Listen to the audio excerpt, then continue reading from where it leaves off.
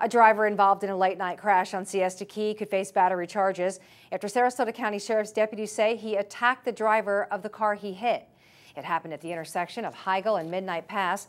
Sarasota County Fire Department crews responded to the crash about 11:30 Thursday, and EMTs treated six patients in all. The driver of the at-fault vehicle was transported to an area hospital where a blood test was administered.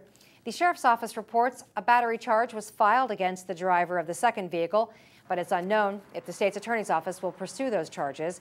The sheriff's office says the full report will be made available next week.